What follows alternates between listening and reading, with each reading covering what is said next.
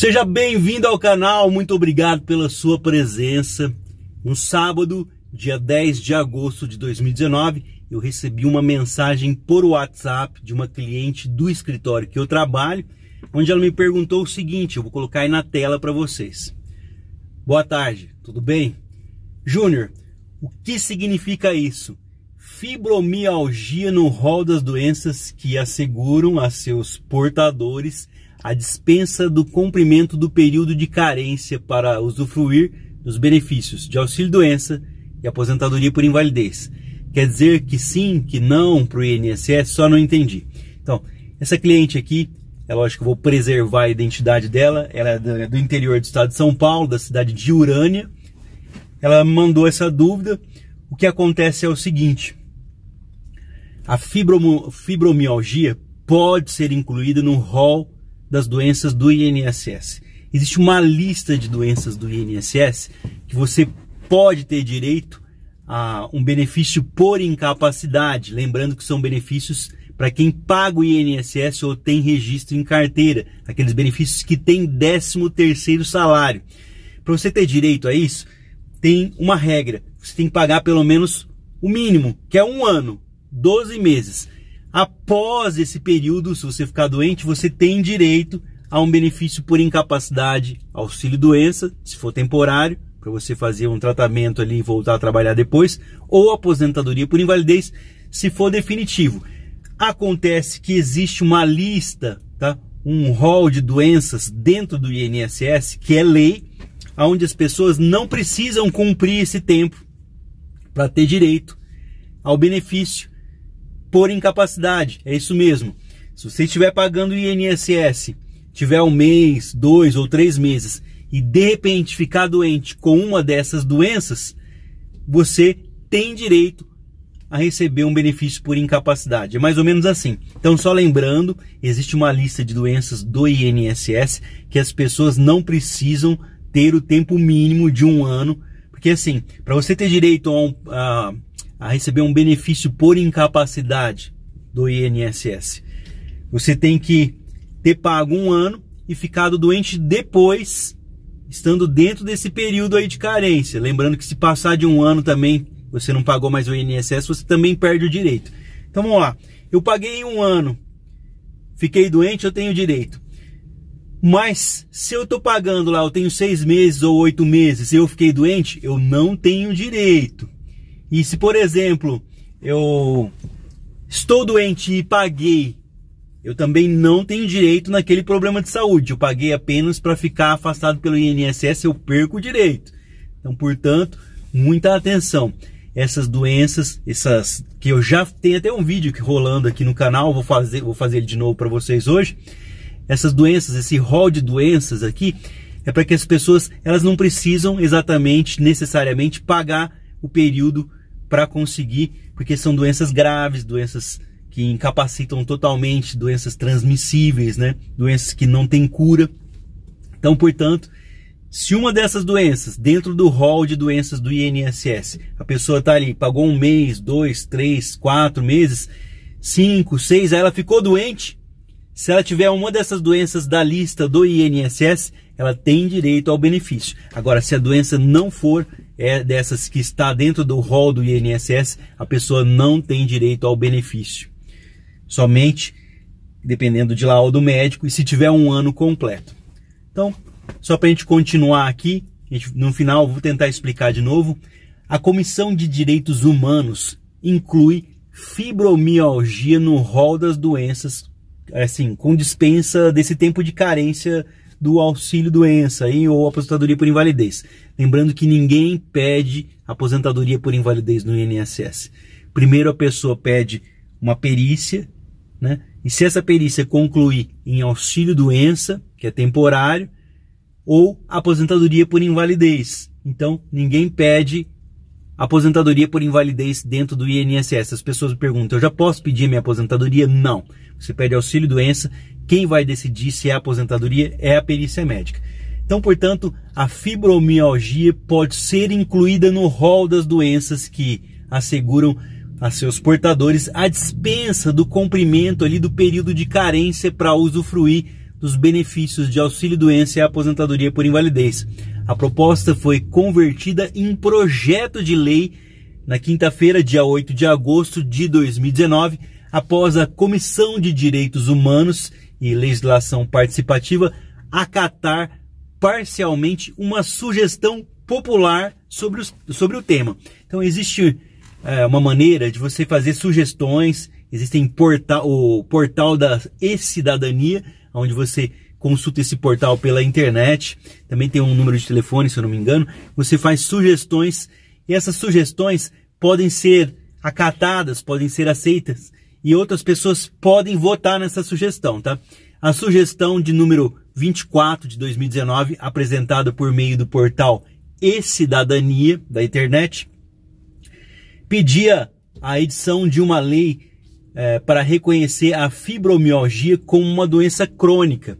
A proposta recebeu mais de 20 mil apoiamentos, ou seja, 20 mil pessoas votaram naquele, naquela, naquela, no caso desse pedido aqui, para ser reconhecida a fibromialgia, entendeu? Então, portanto, por meio do, do portal e-cidadania, uma pessoa fez uma proposta ali de tornar aquela doença para entrar ali como sendo uma doença crônica reconhecida pelo INSS e ela teve o apoio de 20 mil pessoas pela internet. Com esse apoio popular, então você entra no portal e Cidadania, pede uma lei, pede alguma coisa, tendo um apoio popular, o que acontece? É, foi notado que essa síndrome provoca dores por todo o corpo por longos períodos de tempo. Em sua justificativa, a cidadã que fez essa, esse pedido, né, deu essa sugestão, ela argumenta que a doença leva à queda do rendimento dos profissionais, aí então, portanto, em decorrência desse problema de saúde, as pessoas passam a render menos no trabalho, as pessoas não têm condições de trabalhar porque sentem dores por todo o corpo e essa doença geralmente aí ela não é não existe um exame para ter essa doença, então é muito complicado né, de se identificar. Então, portanto, foi uma sugestão apresentada por meio do portal e-Cidadania, que pedia aí a edição de uma lei para reconhecer a fibromialgia como uma doença crônica. A proposta, então, recebeu 20 mil apoiadores. Essa síndrome, lembrando bem, ela provoca dores em todo o corpo por longos períodos de tempo. Na justificativa da pessoa que deu essa sugestão, ela argumentou que a doença leva à queda do rendimento profissional em decorrência das dores e, é claro aí, a falta da assistência médica pública para esse problema de saúde que muitas vezes não é identificado e reconhecido como sendo algo incapacitante. O que acontece? O senador relator aí da Comissão de Direitos Humanos, então um senador é, que é o relator da Comissão de Direitos Humanos, explicou que ele acatou parcialmente aí esse dispositivo apresentado nessa sugestão, para você ver como que é, você dá a sugestão, se tem um grande apoio popular, eles chamam a atenção dos senadores, eles vão acatar, né, vão atrás, vão aceitar esse pedido dessa sugestão, né? Por que, que ele aceitou? Por considerar que a legislação brasileira já reconhece a fibromialgia como doença crônica e que garante aos portadores dessa condição acesso a medicamentos, terapias gratuitas, isso aí no âmbito do sistema de saúde, o Sistema Único de Saúde no Brasil, o SUS. E demandas aí inicialmente requisitadas por essa cidadã através do portal. Então, portanto, portal e cidadão aí, você tem condições de levar o seu protesto, levar o seu pedido e, se for acatado, pode até se transformar em lei. O senador aí, relator da Comissão de Direitos Humanos, ele disse que, na opinião deles, a lei ele reconhece a fibromialgia como uma doença crônica que seria uma causa desprovida de qualquer repercussão jurídica, pois é um mero fato de considerar que uma determinada doença crônica não gera direitos e obrigações, ele afirmou isso. Por essa razão, o senador sugeriu uma alteração, não criação de uma lei, mas a mudança da lei que já existe, a Lei 8.203 de 1991, incluindo a fibromialgia no rol das doenças que asseguram os direitos aos portadores a dispensa do cumprimento do período de carência para usufruir, para ter direito aos benefícios de auxílio-doença e aposentadoria por invalidez. Essa notícia, ela não é inventada, ela é tirada lá do governo da agência Senado, Senado Notícias. Isso aconteceu no dia 8 de agosto de 2019. Então, portanto, espero ter esclarecido. Né? Vou feito de novo.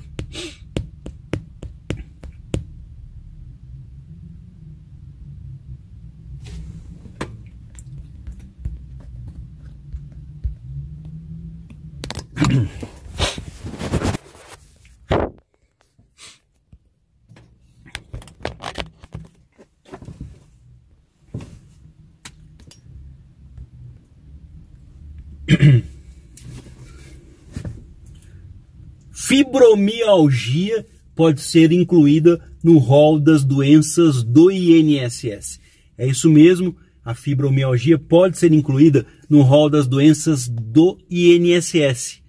Existe um rol de doenças do INSS no qual aquelas pessoas que têm aquele problema de saúde têm direito a um benefício por incapacidade, são benefícios com 13 terceiro salário, auxílio doença e aposentadoria por invalidez, lembrando sempre que tudo depende de laudo médico. Mas essas doenças em questão aqui, elas passam pelo pente fino do INSS, sim, com louvor, com vitória, uma vez que são doenças que estão descritas na lei e que garante o direito à pessoa de tratamento e de que essas pessoas continuem afastadas porque são doenças muitas vezes que não têm cura, doenças transmissíveis de difícil tratamento, exigindo com que a pessoa fique afastada.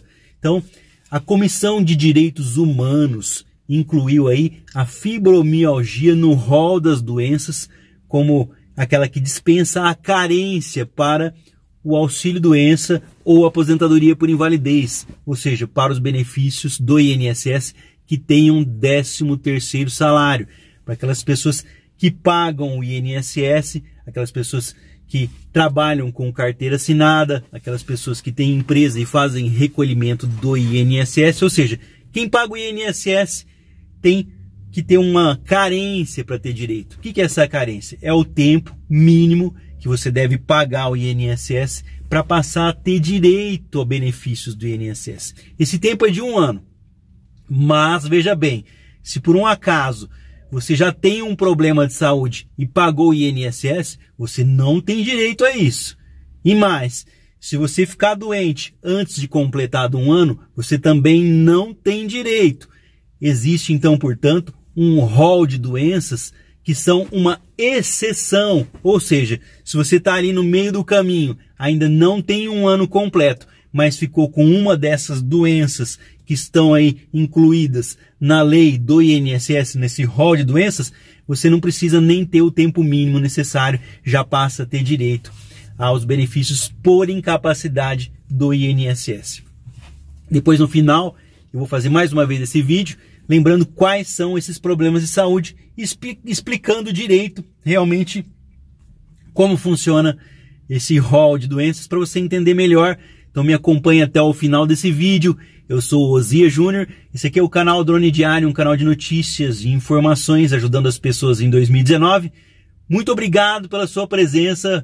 Hoje, dia 12 de agosto de 2019, segunda-feira, eu recebi uma mensagem no dia 10, é isso mesmo, na, no sábado, através do WhatsApp, de um cliente do escritório que eu presto serviços, a cliente da cidade de Urânia, no interior de São Paulo. Eu não vou revelar o nome, tem a privacidade da pessoa.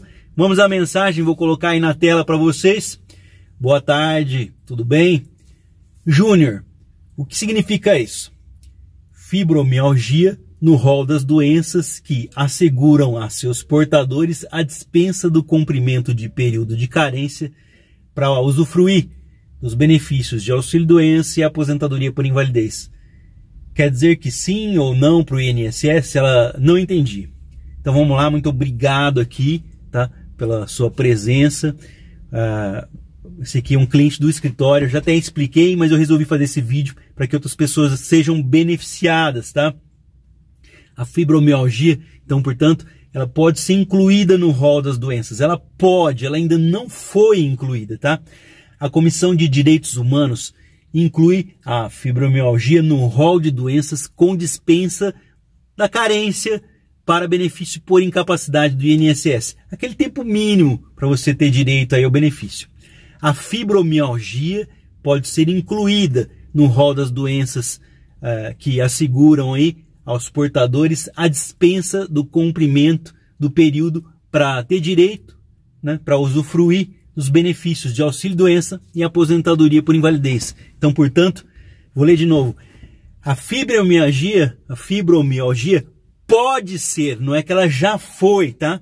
Pode ser incluída no rol das doenças que asseguram seus portadores da dispensa de cumprimento do período mínimo de carência para ter direito ao auxílio-doença e aposentadoria por invalidez.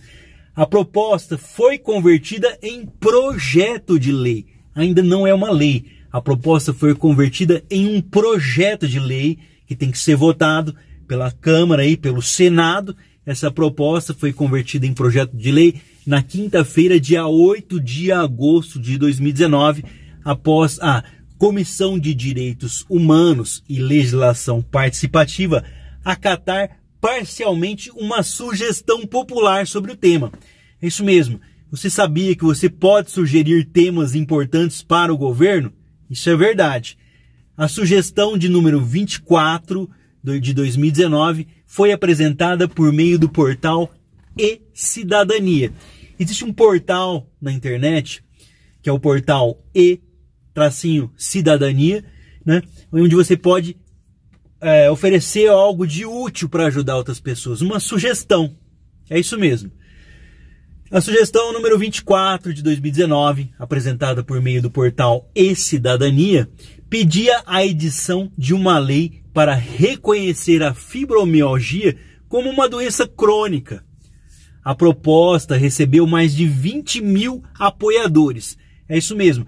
Se você colocar uma sugestão de lei no portal e-Cidadania, por exemplo, e tiver vários apo apoiadores, várias, várias pessoas, milhares de pessoas que têm o mesmo problema, isso chama a atenção do governo. A síndrome provoca dores em todo o corpo por períodos aí prolongados, a fibromialgia, né? Essa sua justificativa, então, portanto, essa foi a justificativa que aquela cidadã fez a sua sugestão ela argumenta que a doença leva à queda do rendimento dos profissionais em decorrência de dores e cita a falta de assistência na saúde pública.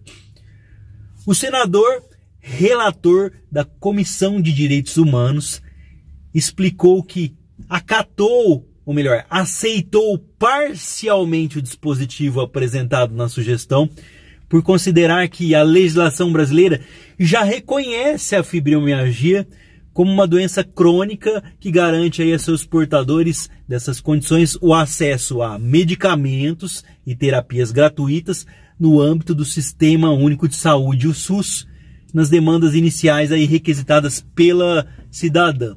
Resumindo, o senador lá que está na Comissão de Direitos Humanos, ele aceitou essa sugestão, onde a pessoa queria uma lei né, dentro do INSS. Só que ele disse para ela: olha, já existe tratamento, mas a parte da lei a gente vai aceitar. Né? O senador, então, portanto, relator da Comissão de Direitos Humanos, ele disse que, na opinião, a lei para reconhecer a fibromialgia como doença crônica seria uma causa desprovida de qualquer repercussão na justiça, pois é um fato considerar que determinada doença crônica não gera direitos e obrigações. E foi isso que ele afirmou.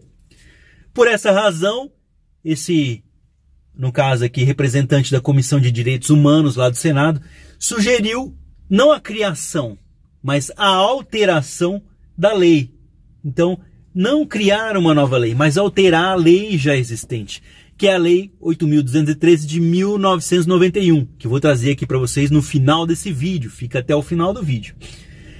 O que seria feito? Nessa lei seria incluído a fibromialgia no rol das doenças que asseguram a seus portadores a dispensa e do cumprimento de carência para usufruir dos benefícios de auxílio-doença e aposentadoria por invalidez. Essa notícia é do Senado Notícias, da agência Senado. Então, portanto, é uma notícia oficial do site do governo federal. Se você quiser acompanhar essa e outras notícias, basta ir até o Senado, procurar o Senado na internet.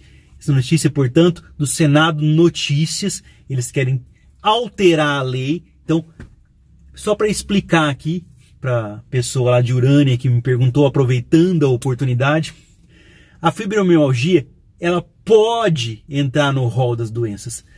Existe então, portanto, foi colocado no dia 8 de agosto de 2019, um projeto de lei. Esse projeto tem que se seguir por diversas votações e após ser votado na Câmara e no Senado, aí sim ele segue para sanção, para assinatura ali, aprovação do presidente da República. Só tem validade a partir do momento em que sai no Diário Oficial da União e se tudo der certo, eu trago aqui em primeira mão para vocês se a fibromialgia vai entrar no rol dessas doenças uh, do INSS. Para você que ficou até agora no vídeo, não esquece de compartilhar nas redes sociais para ajudar outras pessoas. Não esquece de deixar aquele like, que é muito importante para a divulgação do YouTube. E se você ainda não é inscrito, já se inscreve agora para me ajudar, para que eu possa também estar ajudando outras pessoas com as notícias e informações que eu trago nesse canal. Vou falar para vocês agora o rol das doenças do INSS, dessa lei que já existe, tá? Ah, no caso aqui, são, no caso, doenças que passam sim no pente fino do INSS, porque são doenças que já existem dentro da lei do INSS. São doenças de difícil tratamento, às vezes são contagiosas, são doenças que exigem um tratamento longo. Lembrando que toda doença dá direito ao benefício do INSS se você está na carência, se você pagou o INSS tem mais de um ano de INSS. Então, portanto, exige-se o pagamento do INSS para ter direito e toda doença depende de laudo médico. Não adianta você vir até aqui, nas, no caso aqui, nos comentários do canal, ah, eu tenho direito a, por tal doença somente se você tiver um laudo médico conclusivo. Mas existem algumas doenças que dispensam o período de carência e é sobre essas doenças que eu falo a partir de agora. INSS, doenças que passam no pente fino do INSS, inclusive eu já tenho um vídeo aqui.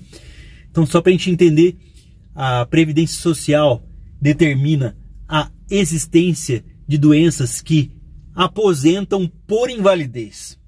Ou seja, são enfermidades que tornam o segurado incapaz de retornar ao trabalho.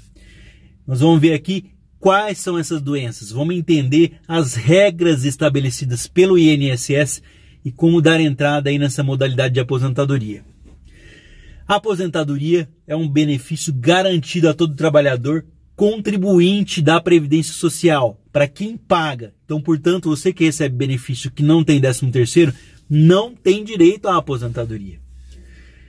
E aí no decorrer da vida profissional é possível que ele não possa, a pessoa não possa mais trabalhar, né, conseguir o sustento da sua família. É um ponto em que vai entrar, portanto, a aposentadoria por invalidez. Quais são as doenças que aposentam por invalidez? Essa é a grande pergunta deixada todos os dias aqui nos comentários desse canal. Não há uma lista de doenças que geram direito à aposentadoria. Isso não existe. No entanto, no INSS, ele tem os, as principais doenças que dão direito a benefícios. Então, portanto, qualquer doença que cause incapacidade depende de laudo médico, ela pode dar direito ao benefício para você mas existem algumas doenças que estão dentro do INSS que dão direito ao benefício. Nós vamos conferir a partir de agora. Já deixa o like e compartilha nas redes sociais para ajudar outras pessoas. Vamos lá. A primeira doença é a hanseníase. A hanseníase, antigamente também chamada de lepra, é causada aí por uma bactéria, a Mycobacterium leprarii. A doença é uma infectologia, né? E é incapacitante, por isso o trabalhador deve se afastar de suas atividades e receber aposentadoria por invalidez. Então, portanto, aqui a primeira doença aqui é a hanseníase. O cara que tem hanseníase, ele vai passar no pente fino, vai continuar aposentado, mas ele depende de mostrar que está em tratamento, que ele tem documentação. No final eu vou explicar. A tuberculose ativa, nossa segunda doença aqui.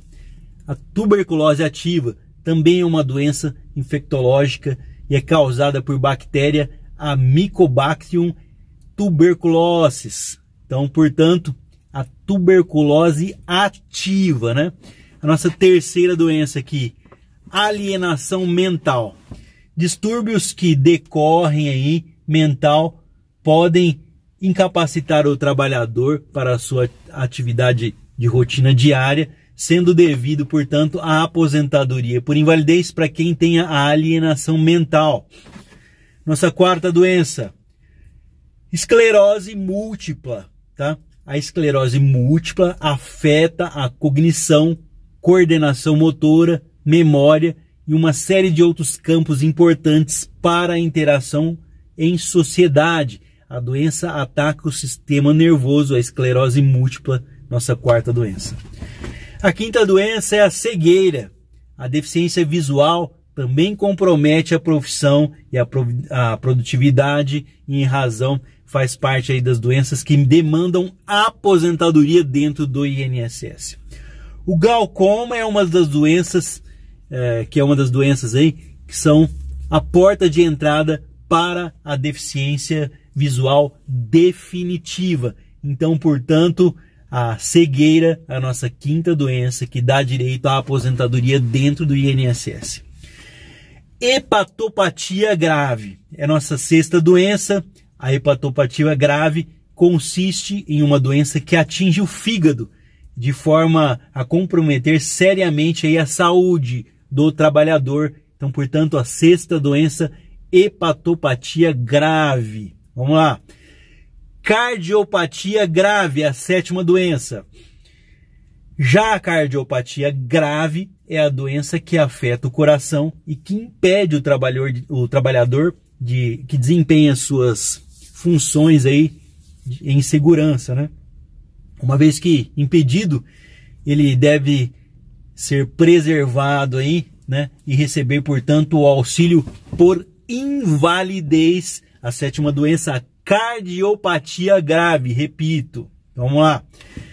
Vamos para a oitava doença. Nós estamos na metade aqui.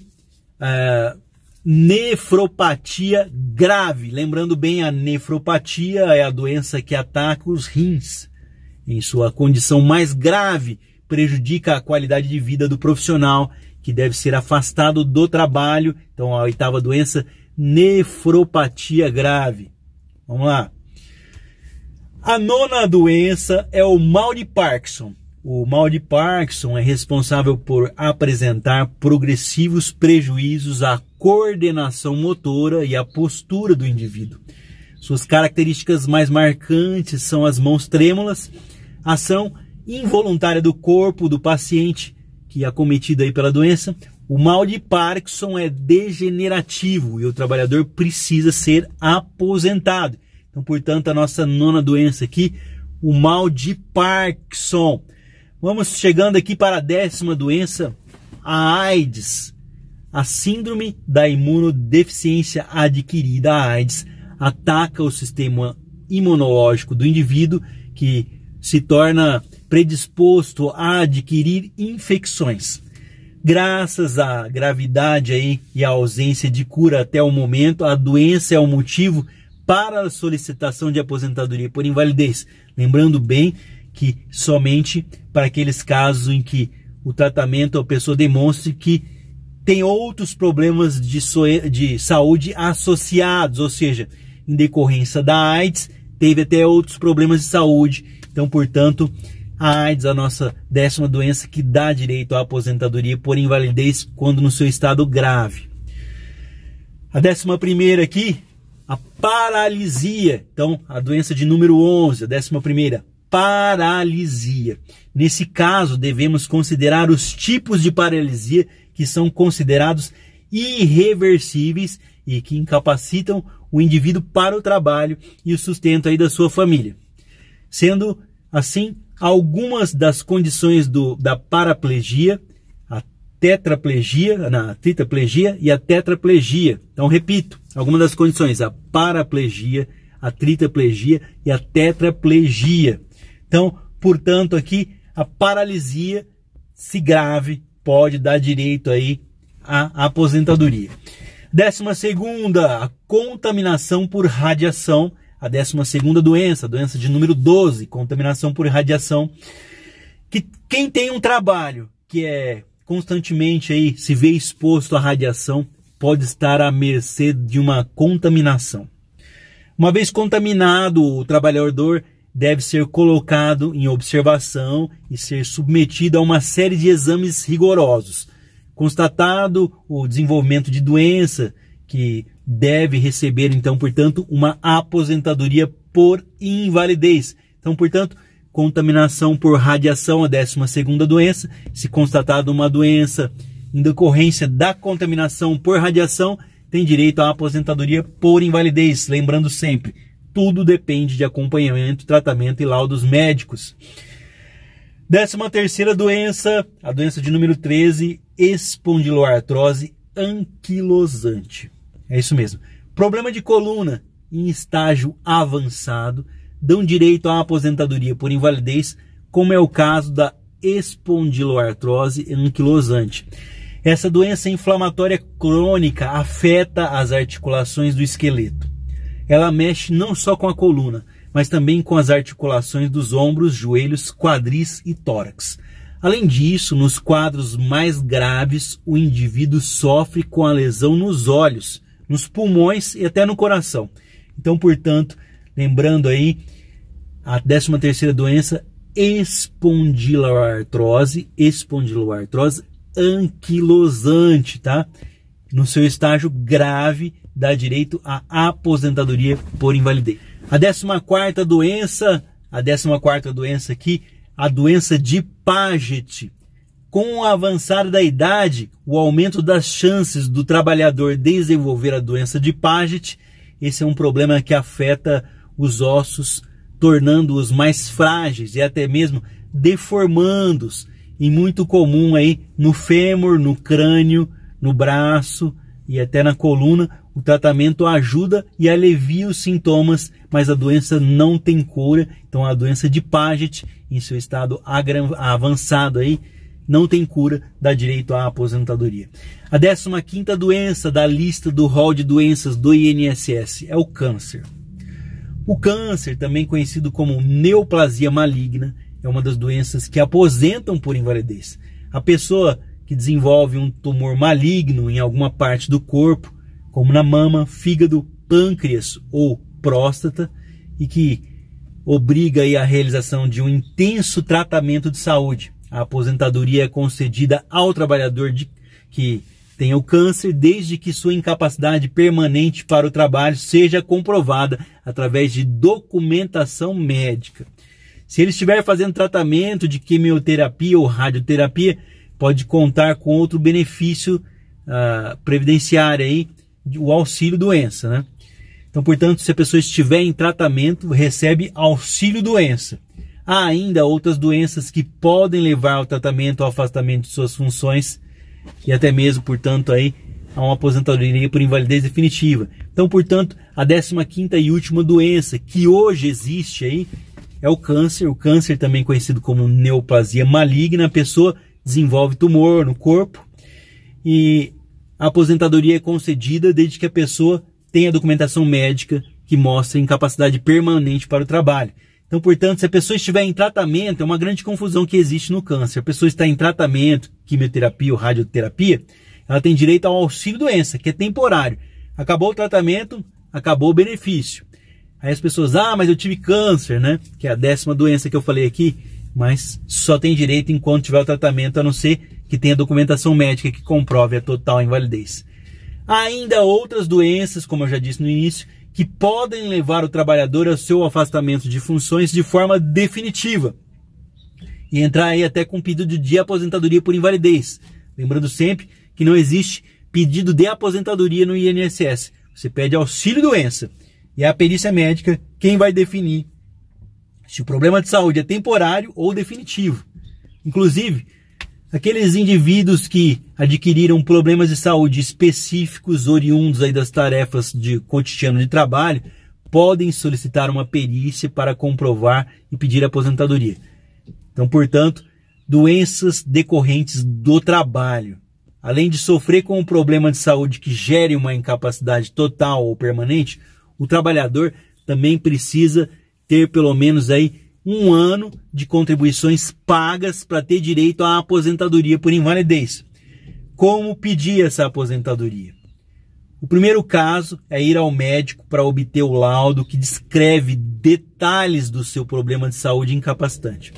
Com esse documento nas mãos, o segurado deve marcar uma perícia médica através do telefone 135 do INSS ou pela internet através das plataformas do governo federal, pelo site Meu INSS. Para marcar a perícia médica aí, basta acessar o endereço eletrônico dos serviços do INSS na internet. Não precisa nem fazer um login, basta apresentar o CPF, né? Você vai clicar em novo agendamento vai ser direcionada aí para o requerimento de benefício por incapacidade. Tiver dificuldade, pede para alguém que tem mais conhecimento, uma pessoa mais jovem, um escritório de advocacia, um, escritório de contabilidade, um vizinho que tem uma impressora de preferência. Num ambiente aí do DataPrev, lá do sistema de serviço online do, do INSS, deve informar os seus dados solicitados, aquilo que eles vão pedir para você pelo formulário, né? Daí vai escolher, portanto, a agência do INSS mais próxima da sua casa para você fazer a perícia. Você guarda aquele número do protocolo que vai ser gerado. Por isso é bom ter uma impressora para poder imprimir, mas se não marca num papel, se for o caso de usar o telefone, pois esse número vai ser útil aí na hora de receber, para você saber o resultado do, do, da sua perícia, você vai precisar daquele número que eles vão te dar, tá? Não existe um requerimento direto de aposentadoria por invalidez, lembrando, Portanto, o primeiro, o segurado deve solicitar o auxílio doença e comparecer à agência do INSS para fazer a sua perícia. Nessa consulta, o médico previdenciário é fundamental apresentar provas sobre o problema de saúde incapacitante, como laudos, exames, prontuários de hospital, atestados médicos. Depois da avaliação completa, o perito determina se é o caso aí de auxílio doença, algo temporário, ou uma aposentadoria por invalidez definitiva. Em geral, o segurado só consegue se aposentar se o seu caso não tiver recuperação. É isso mesmo, se o caso for uma de recuperação impossível, tá?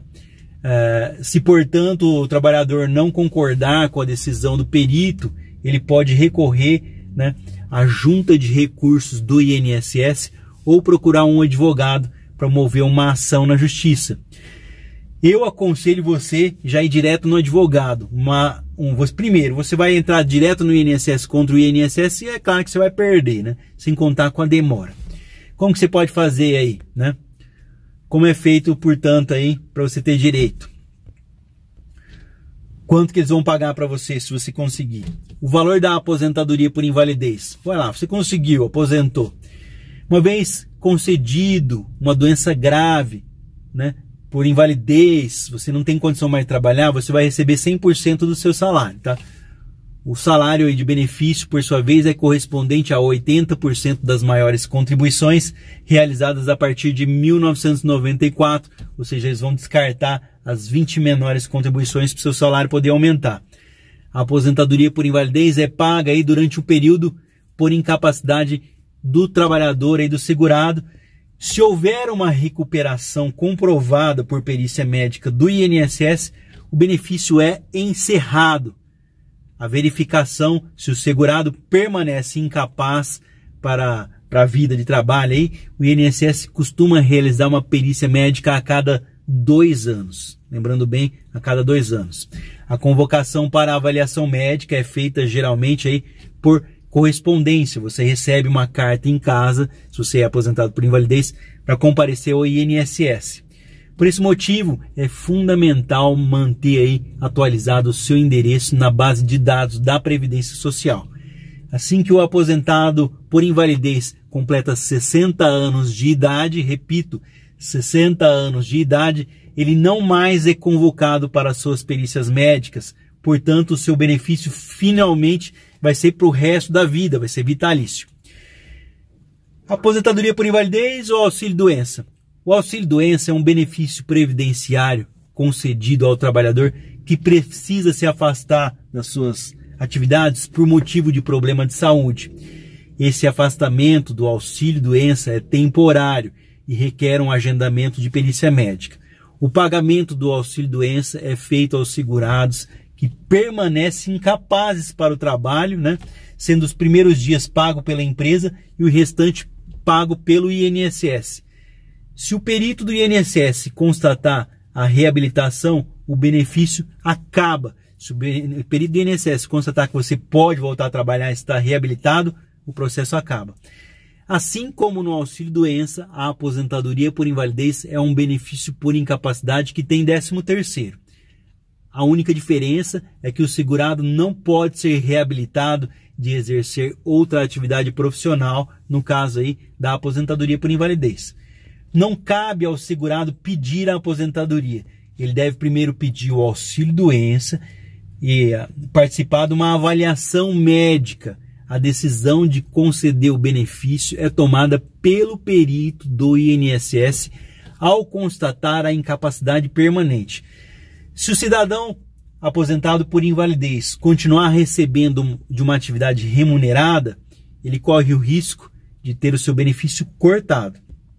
Caso tenha dificuldade para realizar atividades do dia a dia, ele ainda conta com um adicional de 25% além do que recebe, pra, que pode ser solicitado direto na agência do INSS através do, de um agendamento pelo telefone ou pela internet, de um acréscimo ainda de 25%. A conversa é infinita. Existem inúmeras saídas, inúmeras regras. Por isso que eu vou ter que fazer outro vídeo, porque esse vídeo aqui está longo demais então, portanto, a fibromialgia ainda não entrou para esse rol de doenças que causam, que dão direito à aposentadoria. É lógico, sempre com documentação médica que comprove isso, mas está em votação e eu trago para vocês em primeira mão assim que sair. Muito obrigado pela sua presença, desculpa pelo vídeo longo, mas é que tem muita coisa para falar para vocês aqui. Então, portanto, se inscreve aí no canal e eu vou continuar trazendo vídeos para vocês ao longo da semana, ao longo dos tempos aí. Deixa um comentário aqui para mim, por favor. Eu sou Zia Júnior, esse aqui é o canal Drone Diário, um canal de notícias e informações. Muito obrigado, uma ótima semana para vocês, uma boa segunda-feira. Até o próximo vídeo, se Deus quiser.